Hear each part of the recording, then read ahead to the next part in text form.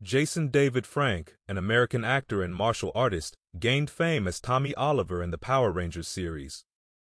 Born in Covina, California on September 4, 1973, Frank began his Power Rangers journey as the Green Ranger and became an iconic character in the franchise.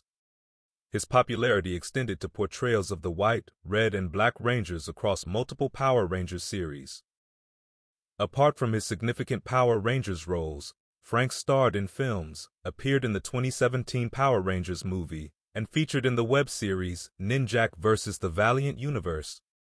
He engaged with Bat in the Sun's Superpower Beatdown series and developed the show My Morphing Life. Furthermore, Frank was part of the film Legend of the White Dragon, which included former Power Rangers actors.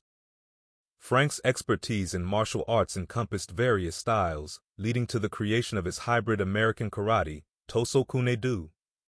He was recognized by the World Karate Union Hall of Fame and attempted breaking Guinness World Records for board breaking. Transitioning into mixed martial arts, Frank debuted with victories in amateur and professional fights, training with UFC's Melvin Guillard. However, his professional fighting career met with cancellations and uncertainties due to opponent issues and injuries. In his personal life, Frank experienced ups and downs, from marriages and family to a frightening encounter at a convention and struggles with depression. Tragically, on November 19, 2022, Frank died by suicide in a Houston hotel, highlighting his ongoing mental health battles. His death prompted tributes from former co-stars and fans across social media platforms.